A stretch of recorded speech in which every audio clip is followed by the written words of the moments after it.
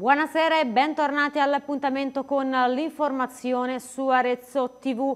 In apertura alla cronaca, la Procura di Siena ha aperto un'inchiesta per chiarire la dinamica dei fatti e le eventuali responsabilità dell'incidente sul lavoro nel quale ha perso la vita Manuel Cavanna, 23enne delle Chianacce nel Cortonese, deceduto eh, ieri mentre prestava servizio come esterno in un'azienda che si occupa di realizzazione di box per cavalli in località Treberte nel comune di Montepulciano. Una tragedia che ha scosso l'intero Cortonese come del resto tutta la provincia di Arezzo che oggi piange la scomparsa del giovane. I funerali del 23enne si svolgeranno domani pomeriggio alle Chianacce di Cortona. Torniamo in città, un altro episodio movimentato ai giardini del Porcinaia, pochi passi dalla stazione ferroviaria di Arezzo. Durante la notte ci sarebbe stata infatti l'ennesima rissa durante la quale sarebbero volate anche delle sedie di esercizi commerciali che sarebbero stati così danneggiati. Residenti e commercianti ormai da tempo chiedono più sicurezza e sono pronti a salire sino al comune. Meno slogan, più sicurezza. È a questo motto che il Comitato Arezzo Unita salirà il prossimo martedì in Piazza della Libertà, una manifestazione in contemporanea con il Consiglio Comunale a partire dalle 14.30. Residenti e commercianti che vivono e lavorano nella zona dei giardini del Porcinai hanno infatti deciso di organizzare un sit-in pacifico e civile per chiedere più sicurezza e tutela. L'area, a pochi passi dalla stazione, nelle ultime settimane è finita ripetutamente sotto i riflettori della cronaca cittadina. Prima un tentato omicidio, poi risse e spaccio. Ormai è diventata come fosse una routine.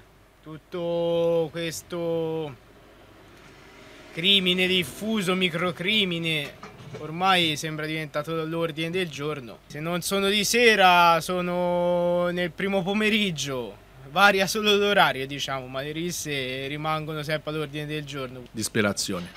Disperazione.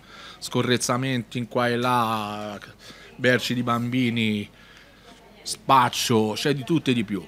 Da marzo ad oggi almeno cinque momenti in cui le forze dell'ordine sono dovute intervenire, un senso di insicurezza da parte di cittadini e commercianti che cresce giorno dopo giorno. Posso capire se qualcuno abbia timore a passare per questa strada.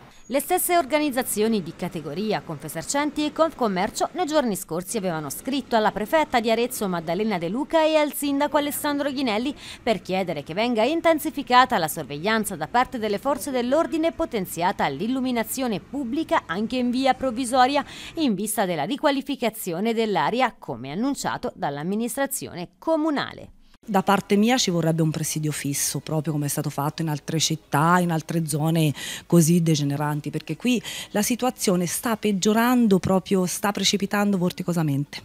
Passiamo adesso alla cronaca giudiziaria. Il 4 giugno dovrà andare a processo e rispondere del reato di tentata violenza sessuale un uomo di 38 anni, straniero ma residente in provincia di Arezzo, accusato di aver molestato sei ragazzine, tutte minorenni, a bordo dell'autobus che lui prendeva per recarsi al lavoro e loro per andare e tornare da scuola.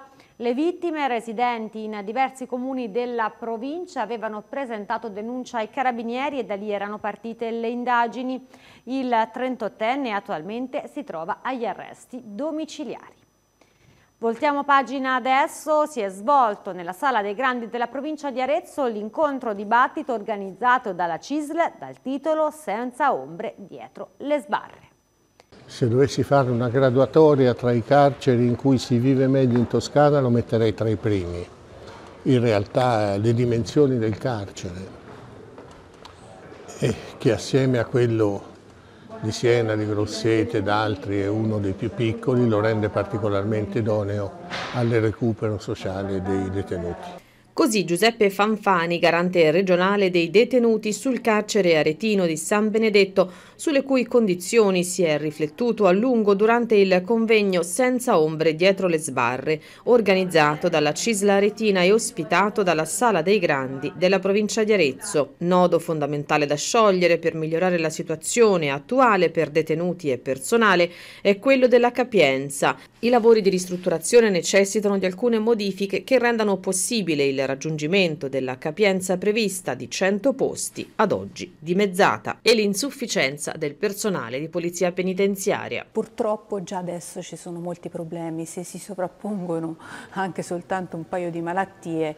eh, ci sono problemi per le, i turni. Noi questa cosa l'abbiamo già fatta presente diverse volte, abbiamo eh, sollecitato in questo senso anche la prefettura eh, e in qualche modo c'è stata un'attivazione, ma vorremmo che fosse ancora più partecipe eh, perché avere eh, polizia penitenziaria non è una sicurezza, una garanzia solo per il carcere, ma per tutta la tenuta della sicurezza nel territorio aretino. Poi l'altra questione è invece proprio la casa circondariale d'Arezzo e la valorizzazione della casa circondariale che è stata eh, già ampiamente ristrutturata, darebbe la possibilità di dare una maggior eh, affluenza anche di, delle persone per il sovraffollamento delle carceri, mentre invece in questo momento, anche a causa della carenza della polizia penitenziaria, non se ne parla. Noi vorremmo accendere una luce su questo tema, vorremmo che anche le istituzioni collaborassero in sinergia eh, per poter dire che insomma, Arezzo c'è, ha bisogno e necessità eh, di implementare la, la, propria casa circondariale in tutti i sensi e questo per aiutare e eh, dare respiro anche alle persone che che purtroppo in carcere devono andare e devono eh, loro passare lì il loro periodo di, di pena e di rieducazione. Aumentano i casi di emergenza-urgenza psicopatologica tra i giovani aretini e così nel reparto di pediatria dell'ospedale San Donato di Arezzo arriva una psicologa. Che noi nel nostro pronto soccorso stiamo eh, vedendo sempre più casistica di bambini, preadolescenti e adolescenti con problematiche psicopatologiche acute, anche eh, vere e proprie neuroemergenze neuropsichiatriche. Sono aumentati soprattutto dopo l'epidemia Covid. Aumentano le situazioni di emergenza e urgenza psicopatologiche fra i giovani anche ad Arezzo. Non passa giorno che nel nostro pronto soccorso, letti OBI, nelle nostre degenze ospedaliere non ci sia purtroppo ricoverato uno o più bambini o ragazzi e preadolescenti con una di queste problematiche molto varie che vanno, faccio un esempio, dagli stati di ansia, attacchi di panico, autolesionismo, eh, condotte purtroppo anche importanti di tipo suicidario oppure disturbi comportamentali in generale, disturbi del comportamento alimentare ma anche disturbi acuti eh, neuropsichiatrici. Per rispondere a questo bisogno di cura è stata così ampliata l'equipe sanitaria con la presenza di uno psicologo che svolgerà la propria attività tra l'unità funzionali salute mentale, infanzia ed adolescenza e il reparto di pediatria dell'ospedale San Donato. Come diceva il dottor Martini, sicuramente la pandemia ha decisamente aumentato le situazioni anche se dei segnali di criticità importante li abbiamo visti anche nella situazione pre-pandemica e la situazione adolescenziale in generale è una situazione che ci preoccupa preoccupa molto da tanti punti di vista, accompagnano le emergenze che accedono all'ospedale, tutta una serie di altre di emergenze che hanno a che fare più con il livello sociale, che accedono spesso anche nell'area della tutela minori, caratterizzate anche da situazioni di violenza minorile significativa nella nostra città. E quindi è un'area di attenzione fondamentale per il Dipartimento di Salute Mentale che in questo tempo ha cercato di eh, costruire percorsi di rete tra tutti i servizi interessati. In un raccordo molto stretto con le scuole e con il sociale del territorio. Sarà così garantita continuità tra lo spazio ospedaliero ed uno territoriale e la continuità del percorso di cura. La presenza che possa eh, mh, accogliere queste situazioni di emergenza-urgenza all'interno del reparto e eh, fare rete eh, con il, eh, il, territoriale, quindi eh, tutti gli interventi necessari poi eh, al momento della dimissione. Tutto pronto per la 49esima edizione di Orarezzo in programma dall'11 al 14 maggio all'Arezzo Fiere e Congressi. Emirati Arabi, Turchia, Stati Uniti, Hong Kong e Francia. La manifattura Orafa e Argentiera è pronta a ritrovare i mercati esteri di riferimento del primo distretto produttivo italiano, una cinquina che vale più del 65% dell'export di settore per un valore di 1,6 miliardi. Ad Arezzo Fiere Congressi dall'11 al 14 maggio prossimi torna infatti la 43esima edizione di Ora Arezzo, la manifestazione firmata da Italian Exhibition Group in vetrina la manifattura Made in Italy con tutte le varietà di catene in oro o argento, semilavorati e componentistica, chiusure per collane, assieme ad una sempre maggiore offerta di produzione gioielliera. Con una novità quest'anno l'evento infatti apre anche alle aziende della filiera del fashion. Confermata poi la vocazione internazionale anche da player esteri che hanno scelto la manifestazione di YEG per il loro business. Torna infine anche Premier, lo storico evento di Oro Arezzo che ogni anno celebra la migliore manifattura orafa italiana mettendo a confronto creazioni originali sviluppate dalle aziende partendo da un tema condiviso sempre nuovo e diverso tra tradizione e contemporaneità. Il tema proposto dall'art director Beppe Angiolini quest'anno è amore e bellezza, confermata anche la categoria categoria Talents riservata agli studenti e giovani designer under 30. Domenica 21 aprile, con inizio alle 17, nell'ambito del mese blu dell'autismo, è in programma il tradizionale spettacolo di musiche e parole per l'autismo. Ospite speciale di quest'anno Paola Turci, un monumento della musica d'autore italiana ed artista da sempre impegnata sui temi della giustizia sociale con una performance appunto tra musiche e parole. Lo spettacolo è incentrato sui temi della libertà e vedrà anche l'esibizione di Ettore Caterino, un medico neuropsichiatra e musicista assieme ai ragazzi del liceo Piero della Francesca. Domani pomeriggio invece a Villa Severi dalle 16 alle 18 la prima uscita del progetto alla scoperta dei parchi cittadini in Sella Dumponi, organizzato dalla scuderia PAN con il patrocinio del Comune di Arezzo, del CONI e del Comitato Fise Toscana. Il progetto darà la possibilità a bambini e ragazzi, nessuno escluso, di scoprire il verde dei parchi cittadini in Sella Dumponi. I bambini potranno salire sull'animale con una sorta di battesimo della sella accompagnati da istruttori qualificati. Ci sarà anche un tecnico di riabilitazione equestre per consentire di fare questa esperienza anche a bambini e ragazzi con disabilità. Ed in relazione al derby di domani, Perugia-Arezzo, il ricorso al Tribunale amministrativo dell'Umbria presentato da Orgoglio Amaranto è stato respinto.